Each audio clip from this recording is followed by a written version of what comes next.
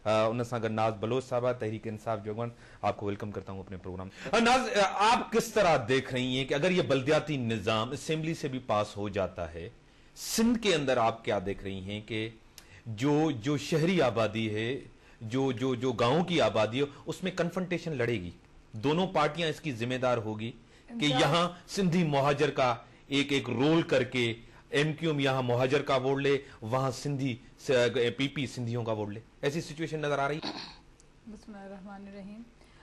امتیاز دیکھیں، پاکستان تحریک انصاف ایک نظریاتی جماعت ہے اور اپنے نظریے پہ قائم ہے پہلے دن سے اب تک۔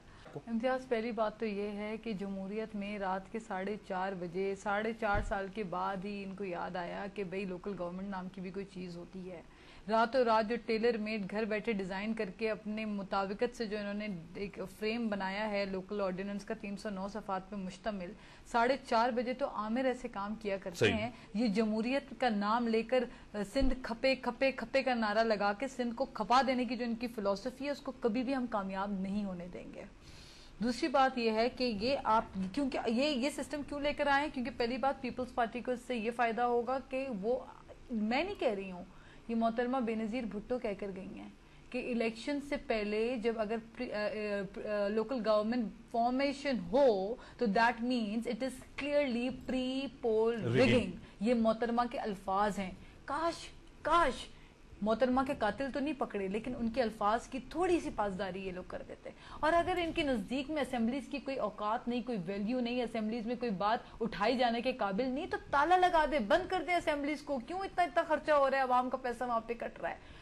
میرا مقصد یہ ہے کہ یہ سندھ کے مفاد میں بالکل نہیں ہے۔ ڈرائنگ روم پولیٹکس ہے۔ راتوں کو دو کبھی گورنر ہاؤس میں کبھی سی ایم ہاؤس میں کبھی بلاول ہاؤس میں بیٹھ کر تین ہاؤسز میں بیٹھ کر اگر فیصلے کیے جائیں ملک اور قوم کی قسمت کے اور سندھ کی قسمت کے تو سندھ کی عوام اس کو اچھی طرح ریجیکٹ کرنا بھی جانتی ہے۔ اور تمام سیاسی جماعتوں کی سندھ کی جتنی سیاسی جماعت اس چیز پہ ان کا موقف ہے پاکستان تحریک انصاف کا بھی یہی موقف ہے کہ ہم ہرگز ہرگز ہرگز اس آرڈیننس کو ایکسیپٹ نہیں کریں گے ایٹ اینی کاسٹ ہم پاکستان تحریک انصاف یہ سمجھتی ہے کہ لوکل گورنمنٹ جو ہے وہ جمہوریت کا بہترین ایک اس کا سٹرکچر ہوتا ہے اور اس کا ہونا بہت ضروری ہے اور وہ قسم کی لوکل گورنمنٹ ہم چاہتے ہیں۔ جیسے یو کے میں آج ہے انڈیا میں بھی لوکل گورنمنٹ ہے لیکن وہ صحیح معنوں میں ہے۔ یہ تو نہیں ہوتا کہ سینٹرلائزیشن آف پاور ہو جائے۔ ایک صوبے میں ڈھائی کروڑ کی آبادی ہے آپ اس کے اندر جو ہے وہ ایک ہیڈ میئر بنا دیں اور وہ اس کا انچارج بنتا پھرے اور جہاں پہ بیس لاکھ کی آبادی اس کو آپ اضلاع میں تقسیم کر کے ٹکڑے کر دیں۔ سندھ کا وہ حال کر دیں پرسان۔ اسی سندھ کے اندر یہ کس منہ سے پیپلز پارٹی ووٹ لینے جائے گی؟ میں سمجھتی ہوں وہاں پہ جائے گی تو عوام تو ان کو ایکسپٹ نہیں کرے گی۔ دوسری بات یہ کہ انہوں نے سندھ کے ساتھ بے وفائی نے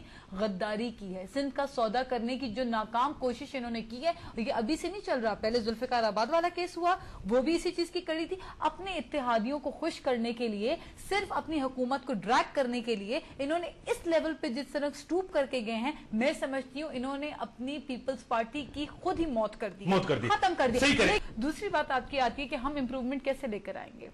ہم تبدیلی کا نعرہ لگاتے ہیں ہم امپروومنٹ کیسے لے کر آئیں گے؟ نوے دن کی بات ہم کرتے ہیں۔ ہم تو یہ کہتے ہیں کہ نو دن میں بھی انقلاب آ سکتا ہے کیونکہ دور نہیں ہے۔ میں آپ کو جب مثال دیتا ہوں آپ یہ دیکھ لیجیے کہ ایک انڈیا کا صوبہ جو بہار ہے سب سے کرپٹ ترین بہار صوبہ تھا۔ اس کا ریکارڈ کیا تھا؟ تھری پرسینٹ گروتھ تھی۔ آج پندرہ پرسینٹ گروتھ ریٹ ان کی پہنچ گئی ہے۔ دا ریزن بھی ہے کہ کشن کمار جو وہاں کے چیف منسٹر تھے ان کی ول تھی۔ جہاں آپ کے پاس ول ہو پولیٹیکل ول ہو نیت سچی ہو بدیانتی نہ ہو تو آپ کر سکتے ہیں۔ اور دوسری بات یہ ہے کہ ہم کس طرح تبدیلی لائیں گے؟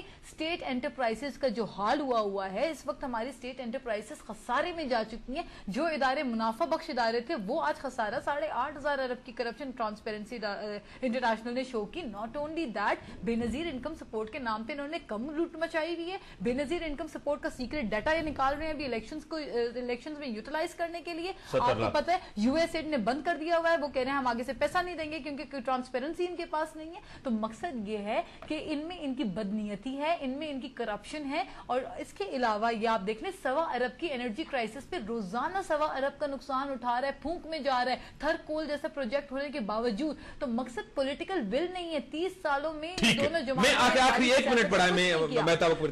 پلس امتیاز آپ کے پاس سب سے بڑا ڈیفیسٹ ہے ٹیکس ڈیفیسٹ آپ ٹیکس نہیں لے رہے ہو لوگ آپ کو ٹیکس نہیں دیتے کیوں نہیں دیتے؟ بڑے لوگوں کو آپ نے فری بڑی مہربانی آپ نے ٹائم ہمارے پاس لیمٹ لميٽيڊ هي ناج صاحبه آپ ڪي بڙي باتين آپ ڪي آپني بڙا گورنمينٽ ڪو لتاڙا آپ ڪي بڙي مهرباني.